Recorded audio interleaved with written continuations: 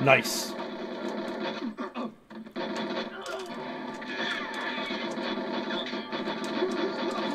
Are you actually fucking mentally disabled? Oh my fucking lord, what the fuck? Holy fucking shit. Wow. I'm actually blown away. Like,